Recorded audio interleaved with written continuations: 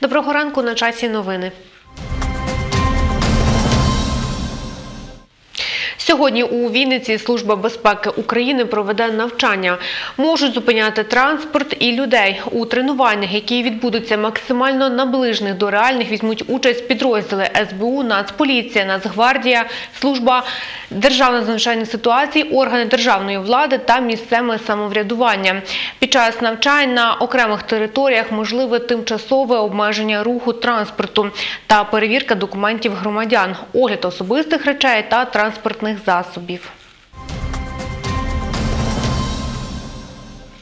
У Вінниці завершується підготовка до опалювального сезону. З понеділка тепло подаватимуть до шкіл, садочків та лікарень.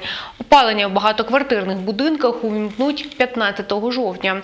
Про це повідомив міський голова Сергій Моргунов. Таким чином комунальники готують обладнання до сезону. На замості модернізували стару газову котельню. Подробиці у сюжеті Артура Колесника. Працівники Вінницьких комунальних служб готують місто до зими у пріоритеті налагодження системи опалення. Теплопункт на вулиці Зулінського перед початком опалювального сезону реконструювали. Зокрема, комунальники модернізували газову котельню. По газу ми плануємо десь приблизно за рік економити 3-4 мільйони метрів кубічних.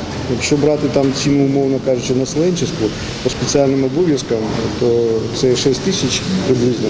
Це буде 25-30 мільйонів по году в деньгах. До кінця осені на підприємстві планують завершити будівництво твердопаливної котельні. Газова ж повинна запрацювати з початком опалювального сезону. Він, за словами міського голови Сергія Моргунова, стартує наступного тижня. по Вінниці міст теплоенерго подавати опалення в е, лікарні, дитячі садочки і школи.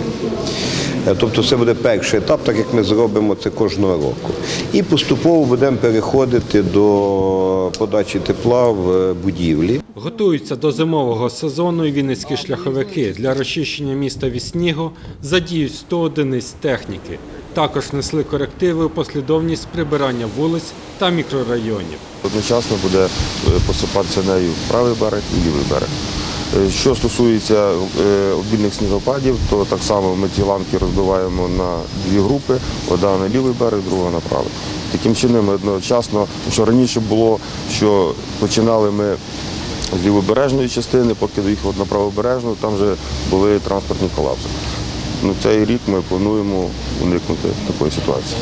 Артур Колесник, Юрій Добровольський. Новини.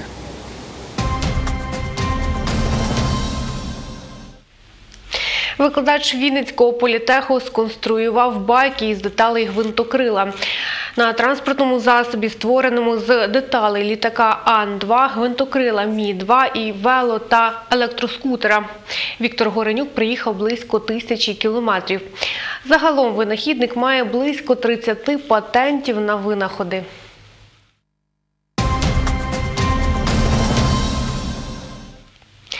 Завтра у Вінниці відбудеться всеукраїнський фестиваль талантів людей з інвалідністю. Вагряна осінь на Поділлі складається з 25 номерів, у яких залучені майже півсотні учасників з усієї України.